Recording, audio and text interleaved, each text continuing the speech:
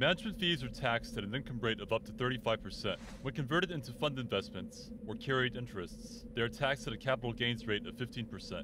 New York's Attorney General is investigating more than a dozen private equity firms for abusing this tax strategy.